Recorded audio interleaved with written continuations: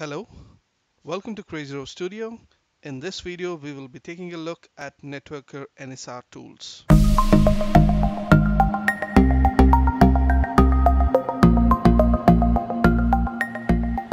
NSR Tools is an interactive command line utility created by the Dell EMC Field Support, which bundles different support tools to have one tool in one place.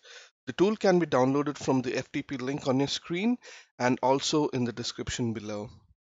This tool supports Networker version 18 and newer releases and the operating system compatibility is listed on your screen which includes Windows 2012 64 or newer, Linux 64-bit distributions that is inclusive of CentOS, uh, Red Hat Linux Enterprise 6.x, 7.x, and 8.x, and uh, SUSE Linux 11.x, 12.x, or newer. There is no installation required, and NSR tool is a read-only tool, which means that there is no configuration change that will be done on your system, and it is pretty safe to be tinkering about. There are a lot of tools packed into this one package and covering all of it in one video is going to make the video a lot lengthier. Thus, this is going to be a multi-part video. Link to the videos for the different tools are available in the description below. This is the fourth part of the multi-part set of videos for NSR tools. In this part, we will look at a few more of the features available in NSR tools, which I'm sure will help you in troubleshooting tasks. So first, let's go ahead and launch the NSR tools on my networker server. For this, I'm going to use the command dot slash NSR tools. Again, the link for downloading NSR tools is in the descriptions below. The first feature that we are going to look at today is list NSR peer resources mismatches.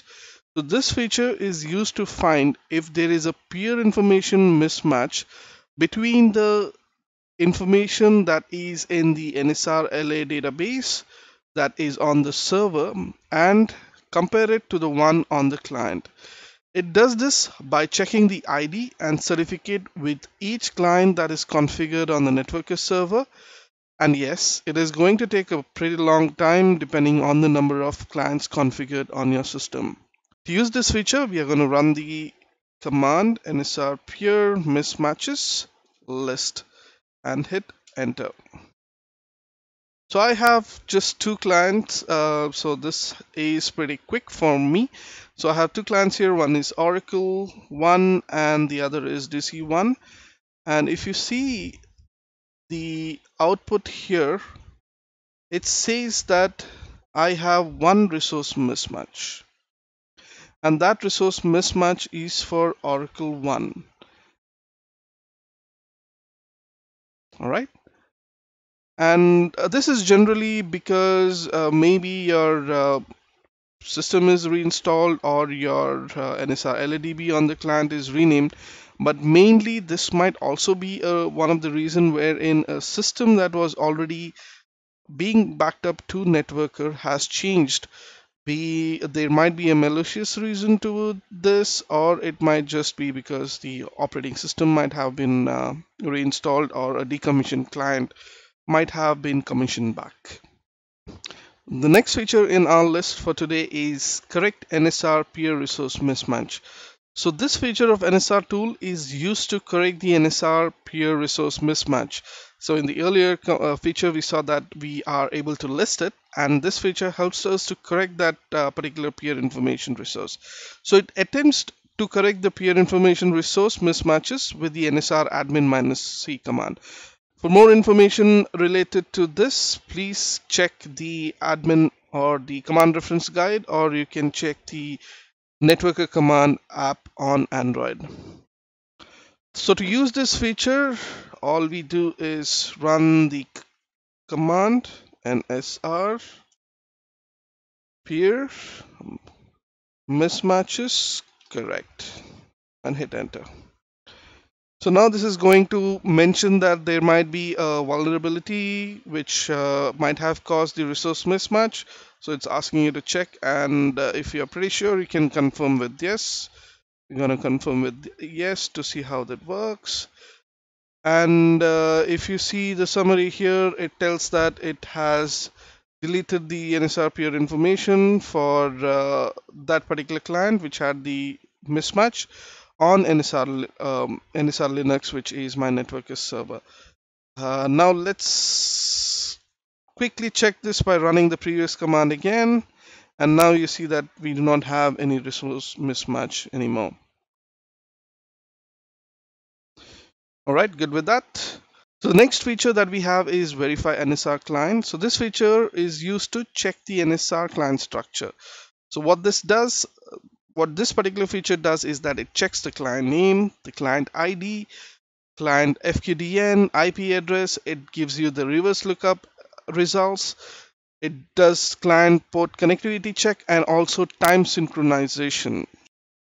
To use this command, you can uh, to use this feature, you can use the command nsr client verify on the nsr tools prompt. So as I have mentioned, I just have two clients, so it is pretty quick for me. And if I go and check the summary, here I will see, okay, this is one of the bug here uh, because I just have two clients. Uh, we just need the details twice, but uh, right now with the current version of NSR tools, it displays the details as many times the client resource is created within NSR uh, server. So anyways, uh, ultimately this is the information that uh, you get out of this. So here you, here you have the NSR server itself, the client ID, the IP address, the host name from reverse lookup, the port connection uh, status, the NSR LA matches, and time synchronization.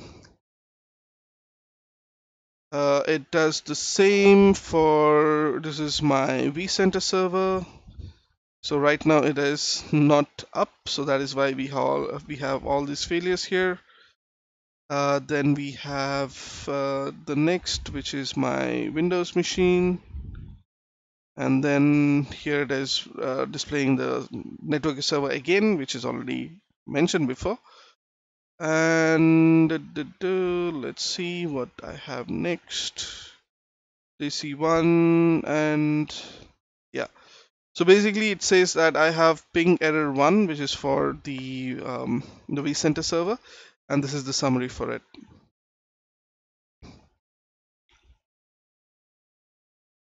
So it also mentions that I have an error with reverse lookup and it's going to mention which systems have failed for uh, reverse lookup and which systems have failed for the ping test. So this is pretty handy to check the overall status of your clients in uh, your network infrastructure.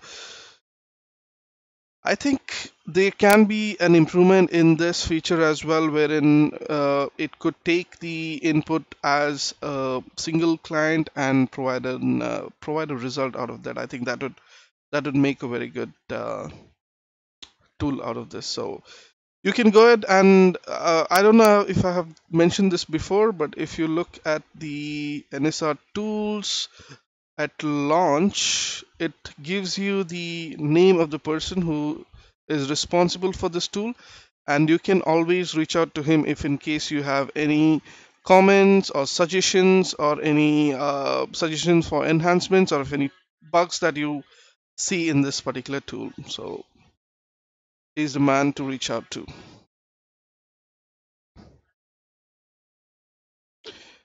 All right, so the next feature that we are going to look at today is the verify NSR storage node. So this is very, very similar to how verify NSR client works, but this particular feature uh, or this particular command verifies only the connectivity with the story uh, with the configured storage nodes on your networker server. So let's go ahead and use this. So to use this feature, you have to run the command nsr storage node verify and hit enter. I don't have any additional storage nodes. Uh, thus, I do not have any additional storage nodes. It's just the backup uh, server itself.